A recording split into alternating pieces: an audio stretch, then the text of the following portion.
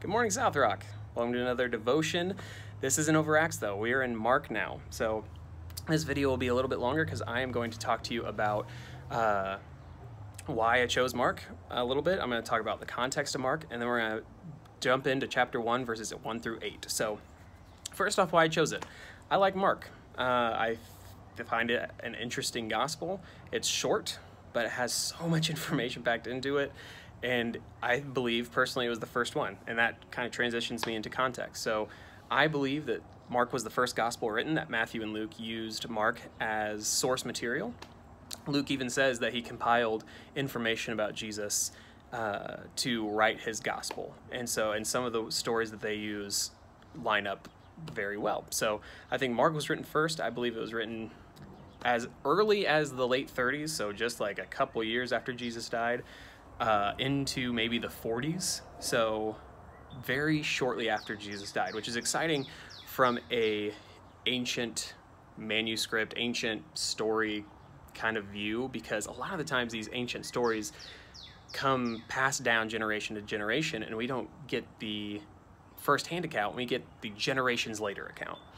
And more than likely, this was written just a couple years after Jesus died, which is fascinating. It is extraordinary that we have that story so quickly after Jesus died. And I believe that is because this is the gospel according to Peter written by Mark. I think Peter and Mark were, were traveling together. Uh, we kind of see that we see that in Acts. And I think Peter's just telling his story and Mark is writing it down and they want to get this out as soon as possible to people so that they can hear the story of Jesus.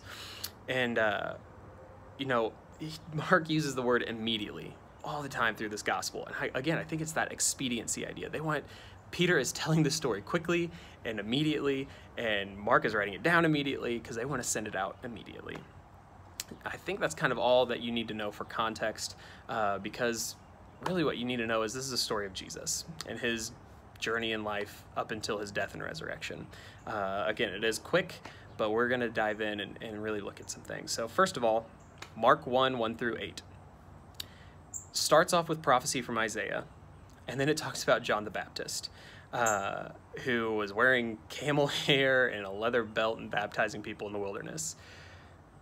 And when I read this, I just had two very immediate thoughts. The first one was, how exceptional is it that our God planned to redeem us for this long a time? Isaiah came hundreds maybe up to like depending on what you think of Isaiah, maybe even up to a thousand years before Jesus, a couple, at least a couple hundred.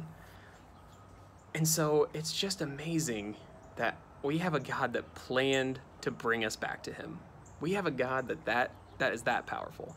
And so my first question is more of a touchy-feely Bible question, not so much an in-depth look at yourself question, but it's how does that how do you feel about that? How do you feel that god made a plan from the beginning? We i believe that from genesis 3.15 he had a plan to redeem us back to himself from sin. He had a plan because he loves us that much. How does that make you feel that you serve a god even in this time of coronavirus and civil unrest we have a god that loves us so much that he would plan for thousands of years just to get us back to him Second question I thought was this. We have John the Baptist, who is uh, wild, wild looking at least. He's wearing camel skins and fur and leather belt, and he's baptizing people and eating locust.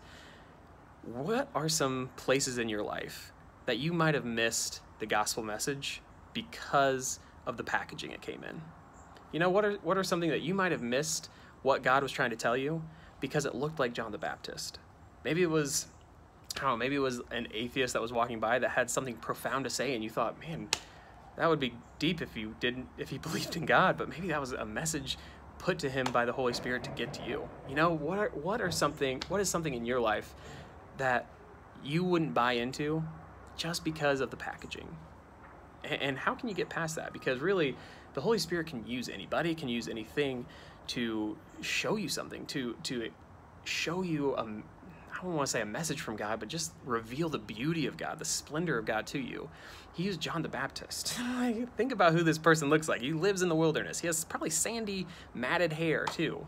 But he is baptizing people and giving them this beautiful message. So what is something that, what is a message that you might have missed because of the packaging.